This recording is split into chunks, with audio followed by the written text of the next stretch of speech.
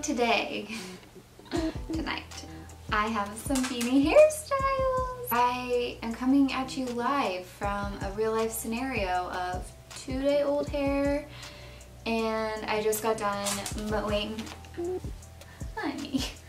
I just got done mowing and weeding the yard so we could use some dry shampoo, but since we're gonna plop a beanie over top, I'm not even gonna bother with dry shampoo. If you guys are like me and you use beanie hairstyles on days where you could use a little refresher and it's just kind of like a lazy day, that's what we've got going. I am full glam though because it's fall. I wanted to honor that with my eyes and my lips reflecting fall colors. So here we are. To get started, all you'll need are three hair ties. My little pull through tool, which I have used before, which this is optional if you don't have it. Don't worry about it. And then a banana clip, and then beanies. So this one is like a waffle knit. It's like obnoxiously large. It's bigger than the typical um, size. Gonna use that for one, this for another. It's like the black and white, looks kind of charcoal gray on there. Mm-hmm.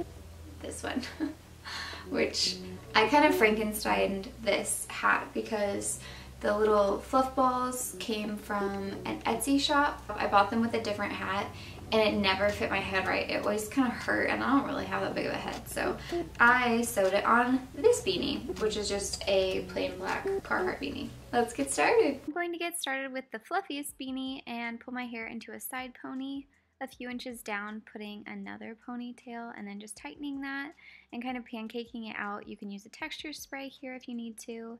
And then just take a small piece of hair to hide the hair tie and use the pull through tool to cover it and repeat the same step for as many renditions as your hair needs. And then we're just gonna plop that beanie over top to hide that first hair tie. And that's the first one. For look two, I've started it in just a plain ponytail. You can see it's pretty thin. So I'm going to show you how to make that look thicker by just adding a banana clip horizontally. As you can see, kind of spreads that hair out so it's not all concentrated just within your ponytail. If you have thick hair, this may not be an issue, but if you don't, this is a huge hack. So it just looks like you have a lot more hair under there. And then I've also styled it with a braid.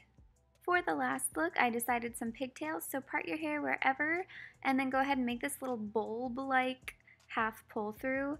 Wrap whatever hair you have around and tuck it in the back. So this works for if you have longer hair or if you have shorter hair, you just won't wrap it as many times. And then repeat on the other side, and this is super simple, super messy, and it always stays really well. So there are three super simple, easy to throw together beanie hairstyles. I've also got a different beanie hairstyle I did before, just one by itself, so I will link that here. If you guys wind up recreating it, I would love to see, so tag me at For The Dainty Days on Instagram. Thank you guys so much for watching and I'll talk to you soon. Bye. Three hair ties. Um, that's two. It's tough.